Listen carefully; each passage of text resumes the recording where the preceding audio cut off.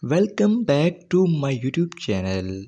At the age 5, his father died. At age 16, he quit school.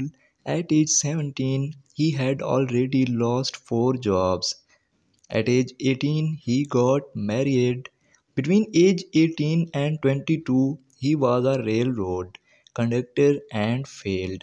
He joined the army and washed out there. He applied for law school but he was rejected. He became an insurance salesman and failed again. At the age 19, he became a father. At age 20, his wife left him and took their baby daughter.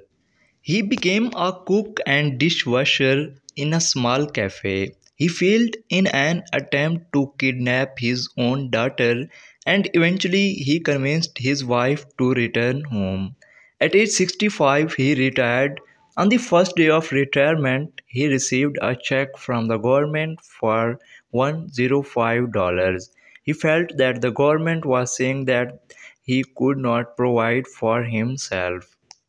He decided to commit suicide. It was not worth living anymore. He had failed so much. He sat under a tree writing his will, but instead he wrote what he would have accomplished with his life. He realized there was much more that he had not done.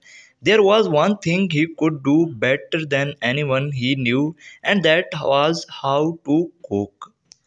Dear viewers, so he borrowed $87 against his check and bought and fried up some chicken using his recipe and went door to door to sell them to his neighbors in Kentucky, USA. He established his own company, Kentucky Fried Chicken. This is called KFC.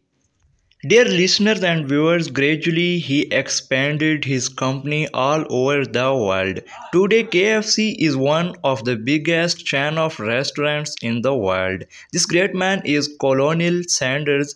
Remember, at the age 65, he was ready to commit suicide, but intelligently he evaded that thought and he fought with his life with courage. He rebuilt his life. At age 88, Colonel Sanders, founder of Kentucky Fried KFC empire became one of the billionaires in the world.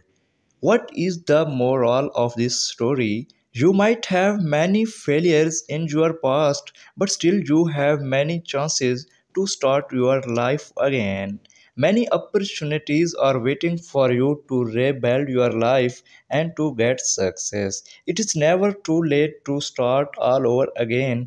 Believe in yourself and in your powers. This universe is ready to give you what you want. Go and get what you want. If can, if you think you can.